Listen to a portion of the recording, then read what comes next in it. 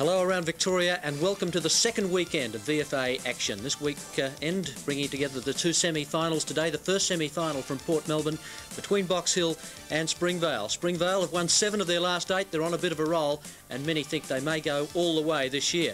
Box Hill have lost three in a row, the last two weeks in a row against Dandenong, and now face the possibility of going out in straight games. Also this afternoon we'll be crossing out to Sandown at half time for uh, some progress reports on practice for tomorrow's Sandown 500, which will be shown exclusively on ABC television. We'll keep you up to date, of course, with the first of the elimination finals in the AFL being played at Waverley this afternoon. And at half time, the fourth final in the VFA Sprint. Should be a beauty. Stand by for that one at half time, as well, of course, our competition for the marks and goals of the year. Have your pens and pencils ready at half time in this big match. Today, though, down at the port in the reserves, it was Second semi-final day between Coburg and Prahran. And Coburg big winners 24-16, 160 to Prahran, 11-10, 76. Prahran, though, has the chance to play again next week in the preliminary final against the winner between Dandenong and Williamstown. The first semi in the reserves being played tomorrow. But we'll go down to the port now. The boys are standing by. I did give my apologies to uh, George Wallace on your behalf uh, last night, Peter G. Of course, a fellow Manchester United supporter, but I understand you had uh, fairly uh, heavy commitment yourself. Yes, uh, well, George, uh, VSF, the Soccer Federation, he's been a stalwart there. I was out at the Coburg Football Club. It was a testimonial for Brad Nimmo and Phil Cleary, stalwarts in the association. Good afternoon, everybody. Welcome to Port Melbourne. Really has got a springtime finals feeling down here today. And without any further ado, let's look at the Springvale lineup for this game. Uh, they've lost Rod Morgan. That's a bit of a blow. A hamstring injury will keep him out. Experienced Pat Foy comes onto the bench. McDonough goes onto the half-forward flank. So uh, changes to every line from the team you would have seen in the paper. Springvale has only played Box Hill once this season, losing by 27 points back in round seven. But selector Bill King says a lot of things have changed since then. Yeah, fairly convincingly. They um, That day they had a lot of good runners uh, that were playing well. Um, our team, team's changed around a fair bit since then, so, you know, it's, uh, it's another day. Is that running part of their game what you fear most from them? Well, yeah, our strength is in our big man department. Um, so, yeah, we've just got to watch that on their running side of their game, and uh, if we can curb that, then we should come out on top. The Box Hill players will line up as they appeared in the press. That's pretty unusual. Interchange to miss out Handley, Box and Penny, whose hamstring hasn't allowed him to taste finals football as yet. Brett Stokes is playing his first senior game today from off the bench. Well, last week Shane Malloy's Box Hill had too many players down, something they can't afford when it's do or die like today. This week, hopefully, the fact that it is desperation uh, football that we're going to uh, see players uh, play four quarters and uh, it brings the best out in them. Well, looking at Springvale, they conceded the least points of any team. They've got a very good defence. Have you got anybody up there that's going to kick a winning score for you with, well, Butterford, who was top scorer against them earlier in the year, back at full back? Yeah, I'm conscious of that. I noticed uh, that's one thing I did look at right throughout the year, and that was I always look at which is the best defence and where we are in terms of our forwards and our defence. Um, our forward line was about third best for the year, so I think we've shown, even though without a full forward, we've had people that can kick goals. So I'm just hoping that we've got enough talented players, six, seven players in that area who can kick the goals. Well, maybe that's the important point. Sam Kekovich, Phil Cleary, great to have you with us again, gents. Uh, the forward line, perhaps, that gets on top today could go a long way to winning. And as Shane said, they've both got good defences. Well, they have uh, Springvale, I think, has the tools to really worry Box. I think we found last week Box Hill in defence struggled a little bit against the likes of Welsh. Butterfin did well, but they had to they lose Butterfin from the midfield to have to cover the fullback. I think uh, Springvale, for some reason, has history on its side. They seem to be on a roll. Yet there's no doubt Box Hill's good enough to win the game if they can get that running game and that link-up game going, and they are quicker than Springvale, so it's going to be an interesting contest. I agree, Phil. I'm all for Springvale. I can't see Simon Clark being beaten. I think he'll dominate the big man contest, and I think Keith Robinson and full forward will be the key forward in the contest. He'll kick a bag of goals, and I don't expect Springvale to be nowhere near as benevolent as they were last week by allowing Port Melbourne to jump them. I think they'll be too ruthless, too methodical, and they'll have numbers to the ball. OK, well, the team that kicks with a win in the first quarter could have some advantage. It's pretty blowy down here. Ross Booth down on boundary line. It sure is blowy, Peter. And Box Hill will kick with the win. Perhaps another six-goal quarter coming up. David Butterford and Keith Robinson are already into it in the goal square. Uh, but uh, very uh, warm conditions too, about 23 degrees. So uh, it'll be tiring today. Yes, good point, Ross. Certainly the conditions will sap the energy of the players. It's the first time we've really encountered all year. Conditions of this ilk, something in the low 20s, a northerly, firm footing for the players, ideal conditions, slightly marred by the breeze, but it really is tailor-made for a crackerjack contest. Do or die final, Pete. Well, Box Hill got away to a great start last week. Dandenong, I think, showed what a good side they were to come back from six goals down. I'm sure Box Hill, if they get a start like that again, won't let it slip this week. So it's Lyle who wins the first tap, but his opponent Clark gets the ball sort of out in the middle. Doug Coop finishes off the job. So it's the Vales up towards half forward. Conditions at ground level absolutely perfect. Here's Elliott for Springvale, forced over the line by O'Neill. Nickel harried by Hogan. There's O'Neill. Oh, his handball going astray, and How's the umpire seen that one? It's back behind the play. Dalrymple and Malin tangled. It's O'Neill who's taken the free kick. And what an accomplished player he is. Terrific defender. Dennis Rich, Jeff Morrow in charge of this game. There's Clark against Lyle. Ball knocked down towards De Boer. Hamilton tried hard to get it forward. Phil Malin on left of screen waits for the tap. Lyle and Clark go for it. Quick kick forward by Coop for the Vales. Into the breeze they go. Elliott coming through with Scurra.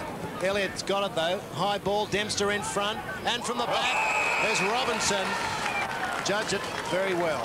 He really is a magical player, isn't he? You could he had his name written all over that ball.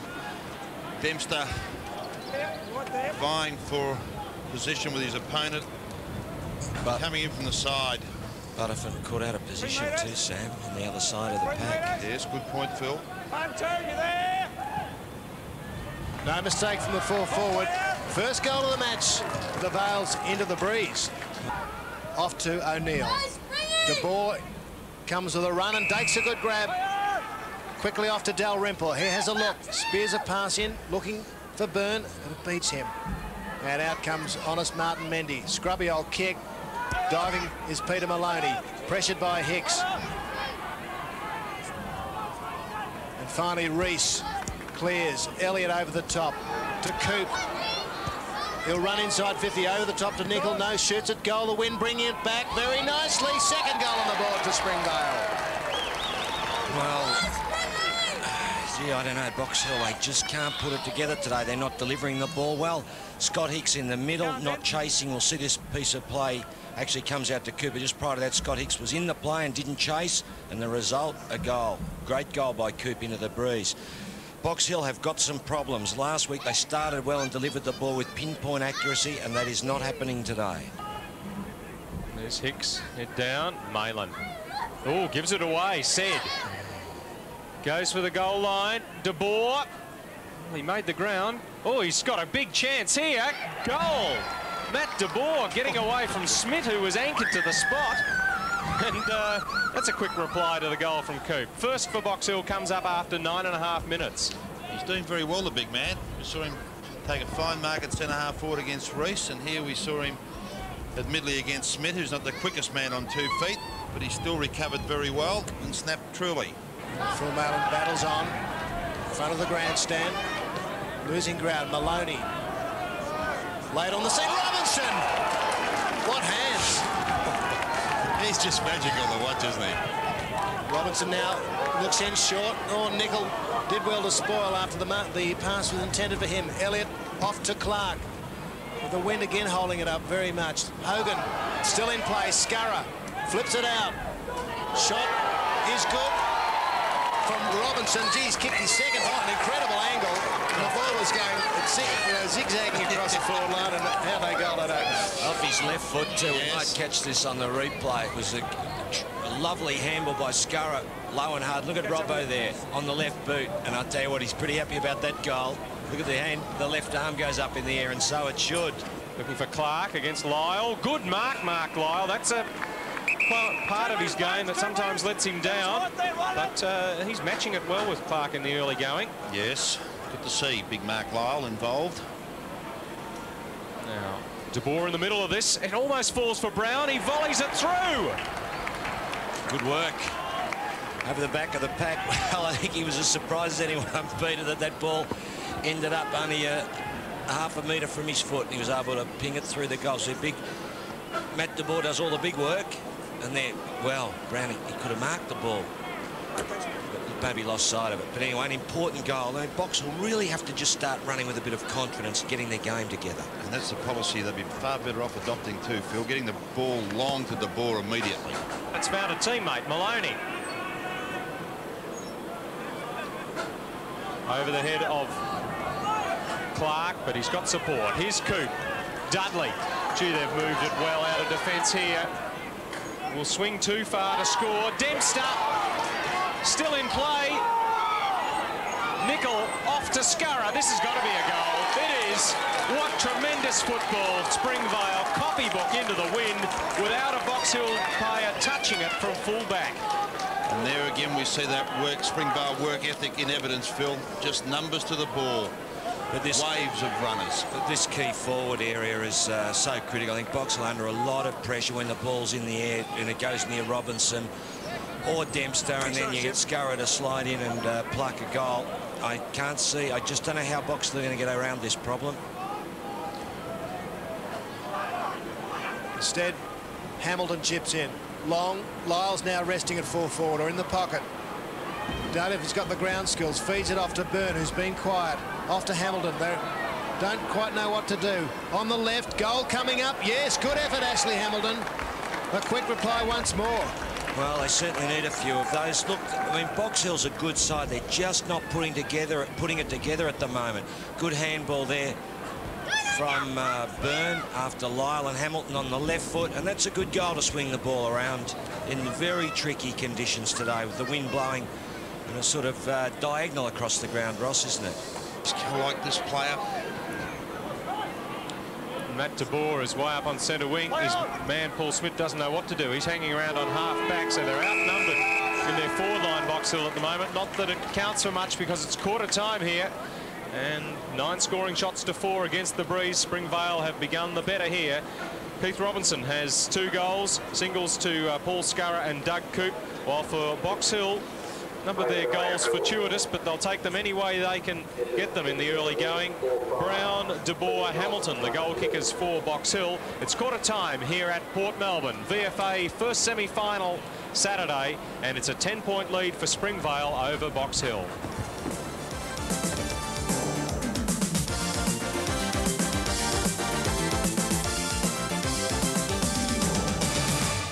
They kick a goal though and uh, they're only four points behind. No score yet in the second quarter. Here's Dalrymple. Chipping it for Diulio. Pulls it in one-handed. He goes one-handed so often. He does. That's a good grab, though. Good kick, too. Excellent kick into the face of the breeze. Now, Ronnie, this is a big kick for you, mate.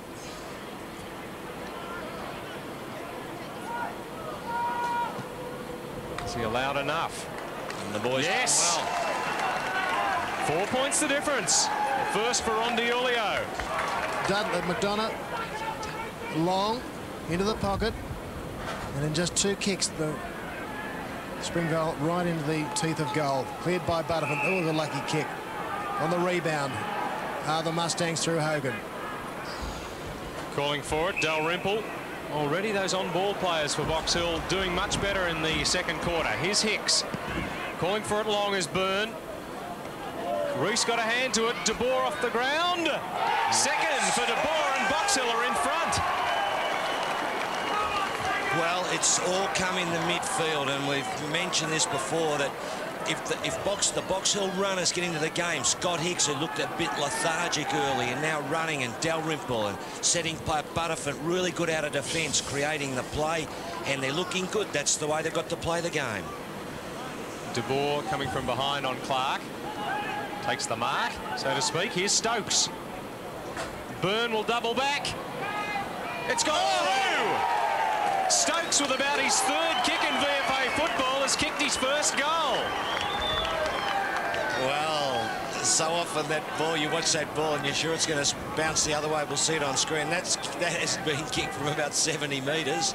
60. Heading, well, In the wind, Just give it 70. Yes. 70. Well, if that fence hadn't been there, it would have travelled 70 odd metres. Brett Stokes too. from Lavington, who played in the Ovens and Murray Grand Final last year, beaten by Wang Rovers, and Paul Scurra from Springvale played in that Wang Rovers side.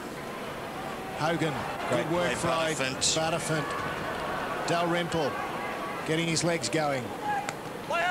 Bit too tall for uh, Diulio. Hick couldn't take it with him. Brosnahan looking better and better. Lyle a quick hand, is- but it missed Hicks. That was a bad one. Caples fends off Hicks. Thumps long. Robinson stands, keeps his ground. Now the hand pass, and Coop will goal. Second goal to go, Doug Coop. And First back quarter. two points. Now, who will get there first? Diulio or Heaney? Oh, that's McDonough caught high. Paul McDonough's got the free kick. That was a bump. Yeah, but he got him on the head. Oh, he shouldn't have put his head there. yeah, Just can't do that. I'll take it back.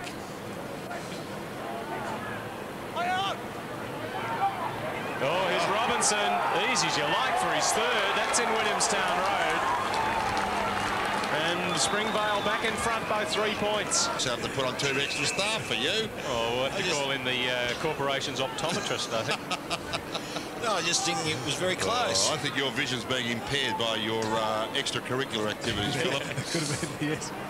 yes, the big testimonial night last night. Philip manning the microphone for 100% of the time. Yes, by the way, congratulations, mate. Well deserved. And Brad Nimmo. Yeah. Been a fine ornament to the game. It's a good night, but it's Maloney for Springvale getting another one. They've steadied and are now going a little bit away. Nine points up. See, playing to instructions. And moving the ball now over to the attacking side. Well, he's Oh. gone too far. Oh, no, this is criminal. Not so much the decision, but the penalty that's going to be exacted on Box Hill by Springvale should they kick another one from a howler. Gee. That is hard lines. Troy Heaney did very well bursting out of defence. If only he had taken a bounce a step prior. How far do you reckon he ran? Oh, I don't know. I think he ran his full complement, Philip. Dempster. First goal for Graham Dempster. A man of his experience doesn't look that sort of gift horse in the mouth. Who's running onto this one? It's said. Oh, his hands failed him and he lost the grip on it. Oh, this Smith puts his body down. plenty of defence got across there in time. He's struggling, Brian said, too. You know, got Dalrymple off and said still on the ground. You know, I think you could go the other way, really. And a bit of a disconsolate look on the face of Mark Lyle there. Box Hill got themselves right back into it from 10 points down. At quarter time, they led by three points at one stage, kicking the first three goals of the quarter. But then Springvale, in 15 minutes, answered with four goals to take back the lead. They're 17 points up with their goals coming from Robinson, three, two to Coop, singles Dempster, Maloney, and Scurra. For Box Hill, two to De Boer, singles to Stokes, Diulio, Hamilton, and Brown. Half-time, VFA first semi-final at Port Melbourne, and it's Springvale leading Box Hill by 17 points.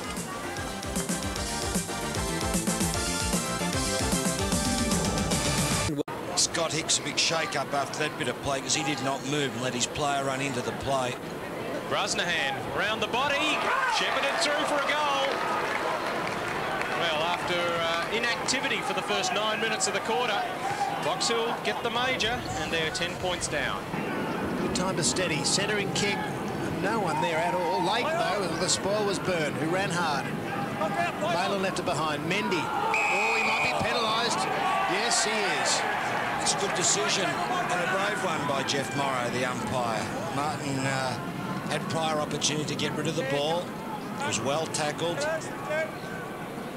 And Byrne, who's shown he, he can contest, shepherding through the earlier goal. Now the fine tackle.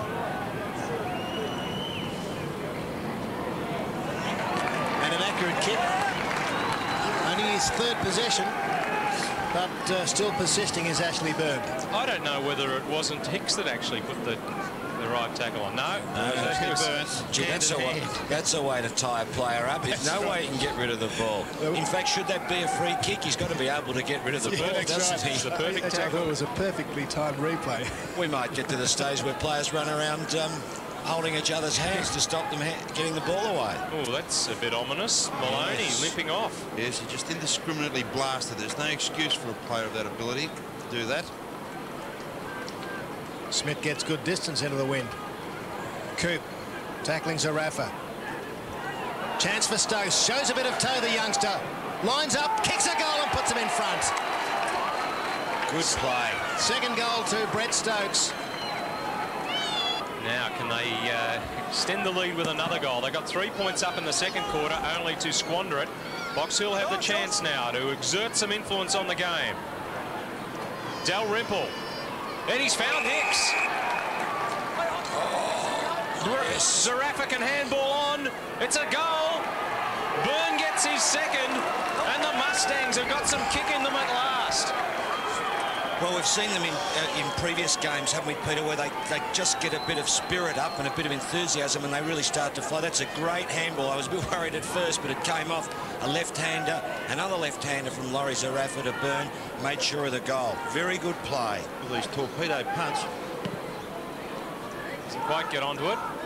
Foy can't be spoiled by Stokes. Very strong mark from the experienced Pat Foy. He slotted it in towards Nickel. That's a strong mark. Well, they really need this man to lift. Well, again, the problem coming from the kick in because O'Neill had to then try and get down to spoil his man Nickel and didn't get there in time and has hurt himself in the process. He's not a good torpedo punt kicker anyway, Peter. He should be trying to get possession. Oh, The kick from Nickel. Terrific goal. And what an important one. That stemmed the flow a little bit. They're back within four points. Don't look all that uh, effective. They are covering plenty of territory. Sky darkens here at Northport. But Dalrymple gets the Mustangs forward. Loose ball. Oh, great effort by Smith. Desperate it was. Set onto the left foot. He's put it through, has he? Yes! Another freakish goal from a Mustang. This time Brian said. Timely grab by the big man. Lyle has taken more marks than uh, I think we've seen from him all season today. 16 possessions as he gets the ball out wide to Danny Burke. Furthest down the ground, we've seen him. De Boer. Knock on. Looking for Butterfin, who's come right down. In front of the goals is Hicks. Almost, but it's fallen for Byrne. Third for the quarter for Ashley Byrne, and they've all been from in the goal square. And Hicks contesting. Phil. Great stuff, but Matt DeBoer, the punch, he's done that consistently. And look at that David Butterfin from full back, the runner. Fit as a fiddle, David Butterfin. Great play, Hicks. Really that took the move pack working on. well that you were advocating, Philip. Byrne to fall forward. Yes. well, Sammy has been on the end of a couple of nimmies. yes. They fly and spoil one another. Hooked around the body. Oh, oh bowed bounce for Brown. Great work, I think was Brosnahan, was it, who got some sort of kick at the pool? Would have been a miracle goal. Springvale have survived that onslaught. But they've got a bit of work to do with the wind in the last quarter. Box Hill in that quarter added four goals to Springvale's three. And it makes the difference 14 points with a quarter to go in the cutthroat first semi. Springvale one goal, sorry, Sam. Yes, I don't know where I got that three from. But uh, the goal kickers for Box Hill, Byrne three all in that quarter. Stokes has got two, as has De Boer. They're the multiple goal kickers, while for Springvale, Robinson has three, Coop has two. So a quarter to go here at Port Melbourne. Box Hill against the breeze, but with their tails up, leading Springvale at three-quarter time.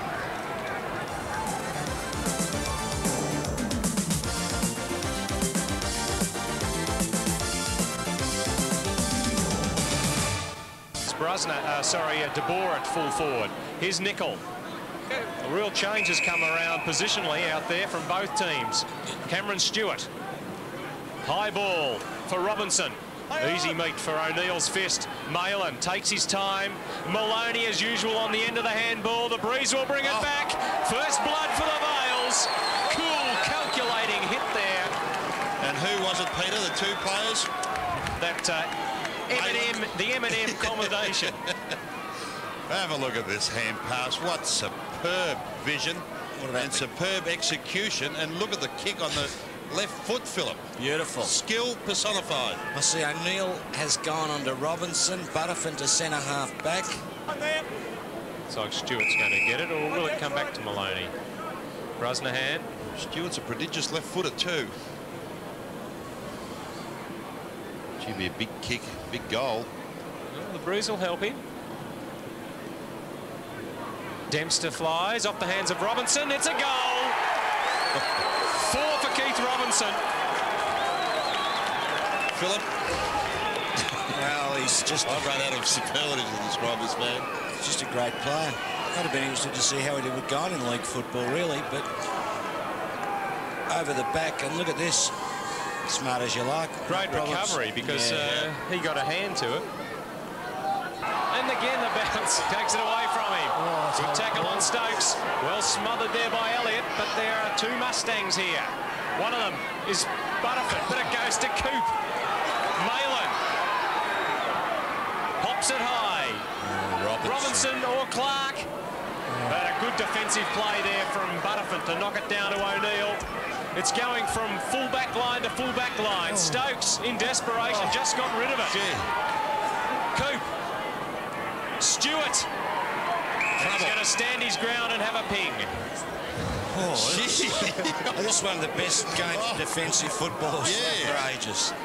Just rebounded from the de respective defences. See a lot of players catching their breath now. Oh, Well, he should have learned something from that last shot at goal. He only needs to correct a tiny amount. He's closer too. Cameron Stewart to put Springvale in front. The deadlock's broken. It's six points the difference in the Vales' favour. you're right, Peter. Really addressed that. Took his time. Perfect execution. Wonderful kick. There was a lot of pressure on young Stokes, who handballed indiscriminately, picked up by Coop and the experience told there because he steadied. Great vision, spotted Cameron unopposed, and this was a fine kick. And look at the way he just finished off that kick. Yes, get burned to centre half forward, Ross. He's the half-forward flanker. Hicks running back into the square. With Mendy. Hicks a good mark. What a very good mark. What a sensational mark, Ross. In fact, not a tall player. Didn't have a big gap there from which to climb the player, but just jumped from a virtually a standing start. Six marks to Hicks.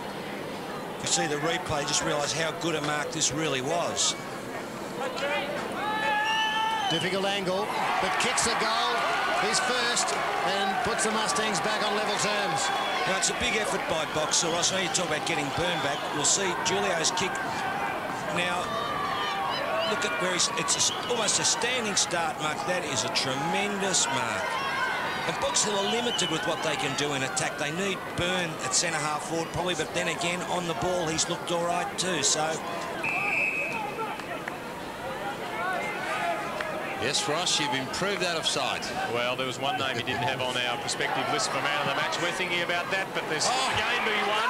Gross just across the face, and they're in front. Breaks the deadlock. Umpire Selwood emphatic.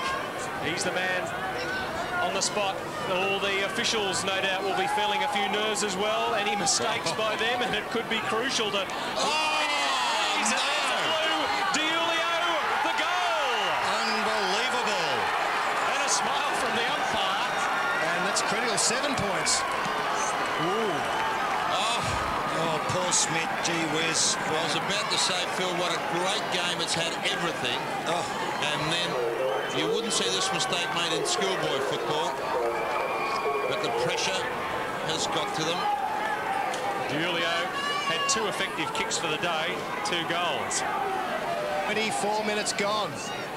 Smith, that's a thumping kick. No short pass this time. De Boer with a fist. It's all Box Hill. Dalrymple gathers. Spears it in towards Hicks, who's in front. And Diulio, second coming up. Down he goes. And another rush behind. No, Hicks. What's he? Does he let go? How about that? Scott Hicks. unbelievable. Well, did that umpire signal a point? I think I'd love to see that again. Oh, dear. And great play by Diulio. Look at the Does the whole of the ball cover the line? That's the question. We can't see. Well, the other angle oh. might show us. Here it is. Watch it closely. It's going to go all over the line. Oh! Just, think Oh my God! The goal umpires. There'll be s- the outside of the controversy. Well, I think too difficult for us to say, but, I think there's going to be an argument for four goal umpires well, now. it's 14 points the difference. Well, the poor goalie couldn't have been much closer, Sam. If it had been four umpires, we would have had to... Is that your man that likes Fawlty Towers, Peter? yes, that was that goal umpire Selwood, very experienced VFL and AFL goal umpire. And faith and loyalty in his charges. Play on! Play De Boer caught. Elliott's kick. Play on the call. Well, can the captain get one? He can. Malin's kicked the goal. Points the difference. Oh, still time. Plenty of goals scored. Well, the coach slots a goal that gives them some hope. It's not a bad bit of play from the veteran too. Is it onto the left foot? Steadied. This is an important possession. This engine room possession now. De Boer. Burke was cool. O'Neill. Oh, what a game. What a game. Hogan. He has shut Elliott right out of it since uh, quarter time, and they've won it. Springvale's run comes to an end. The relief on the face of the Mustang coach. His players did him proud. They got the lead back in the third quarter, held it, and then held it in the last quarter. And they are through to the preliminary final. And Springvale, the wild card, has gone out of the final series. They've lost only their second game in eight. Hicks, an inspirational mark and goal. And then it was Springvale who had to try and find something in adversity, and they couldn't. And Box Hill have shown they have got finals character. Ross Booth is with the victorious coach. Victory for the Mustangs by eight points. Well, uh, Shane Malloy's just uh, shaking his head. Uh, hard to believe. Oh, it is, but the main thing is we've won a game, and they should get a lot of confidence from that, and a lot of character in that uh, that win, Ross. I reckon that was that was great effort. They stuck to their guns, and uh, like when they drew level in that, la- that last quarter, like maybe could have been forgiven to just drop a little bit, but they didn't. They fought back hard, and uh, I think we had the legs, so they should have confidence in that, and. They got in there and showed a lot of character. I was really proud of them. Great. You made some very courageous moves too with Byrne onto the ball or into the back line and so forth. Yeah, obviously, Ash uh, just uh, wasn't himself down on the forward line. Things were a bit crowded, so we had to do something. We hadn't got enough out of him. He's a great player, so the idea was to get him into the play, and that was the best way to do it, I think. Yes, and uh, a word of congratulations on your composure. I think we're more rattled than you are. Uh, thanks very much, Ross. Okay, thanks terrific. a lot. Shane Malloy, the victorious uh, winning coach for Box Hill. A man of the match in short time. Okay, Ross, you're keeping us on tenterhooks there about the man of the match, but gee, Springvale again, like the grand final last year, the game was there for them just to really go for the jugular. They didn't do it, and Box Hill have taken their opportunity. Well, I think they did, but I reckon that uh, Shane Malloy took the front running in the last quarter. He juggled a couple of players around, and in the end, I think those tactics were critical to the outcome of the game. Byrne onto the ball. God, what a bold move that was. It worked. Uh, Hicks went to the forward line the third quarter, and then the last quarter plucked a big mark. So I reckon, you know, full full marks to uh, Shane Malloy. And that was a great piece of work by the coach. Well, he isn't the man of the match, though. That man is with Ross Booth right now. Well, uh, that's the end of the, uh, you know, the nerves. It's Jared O'Neill, the centre half back, and uh, well done. Bill, Bill Stubbs from Wards Express has the tanker. Well, it's a popular choice, Jared. On behalf of Wards Express, I congratulate you. Well done. Uh, well done to Box Hill. Uh, best luck for the rest of the season too, mate. It's a fantastic game today. Congratulations. The keys to the Mazda. You are old enough to drive, aren't you? I am old enough. How old are you? Uh, 20. 20, okay. Thanks to our Wards and Mazda for the prize. And uh, yeah, You just keep getting better and better, Jared. Uh, and two fine opponents today. You had uh, Stewie Nicol for most of the day. He had to go into the ruck, and then Keith Robinson at the end. Uh, how nervous was it at the end? actually it was pretty hairy at the end. Actually, the ball was coming down pretty quickly, and uh, they're both really good players. So uh, we, you know, we're lucky to come out with it. It was a close game. It sure was. And uh, next week, of course, now another difficult task against uh, Dandenong or Werribee. You, but I guess it's good to have a win under your belt now. Oh yeah, we've lost three in a row, so we're getting a little bit worried there for for a while. But um, I think we're a good enough team. It's just a matter we've got to get it together on the day. Okay. Jared O'Neill, our man of the match. Well done to Jared and to all of the Box Hill side. Uh, the first time these two teams have met in a final and they provided a great game for us. Commiserations Springvale. It was a withering run for them. They won uh, some, what was seven out of nine and it came to an end today at the hands of Box Hill by eight points. Quickly tomorrow, where will Werribee Dandenong? I'm going for Dandenong. I think they can upset the nominal premiership favourites. Yes, the minor premiers Werribee. Yes, I'll go for Werribee to win. I reckon that all those people, if you don't get down and watch VFA football at the moment, you're mad because you're missing some great stuff. Yeah, we've seen three great finals matches, second semi-final tomorrow, but the first semi-final victors, Box Hill. Well done to the Stangers as we hand back to the studio and John Bell. Thank you very much, Peter G. Haven't we had three terrific finals so far? And we'll all look forward to tomorrow's match. Let's just uh, confirm what tomorrow's match is. The second semi-final, Werribee playing Dandenong, and of course the winner of that straight through to the grand final. The loser will come up against a very determined Box Hill, as they showed us this afternoon. Also, a reminder about tomorrow, our coverage from Sandown. We'll be uh, crossing out to Sandown for progress in the Sandown 500 at uh, half time, and also hopefully picking up uh, the closing stages of the race uh, just before 5 o'clock. Also, an hour of highlights from Sandown tomorrow night on ABC television. Coming up shortly on the ABC, we have sports news and uh, the WNBL uh, finals continue. Hobart playing Perth. Coverage of that at 5 o'clock tonight. But uh, that's all in today's uh, coverage. Just a reminder of the score from the AFL today, the elimination semi-final. Terrific second half by the Demons. Allen Jakovich, the star, 38 points they won by. That's it for the VFA coverage today. See you next. See you next.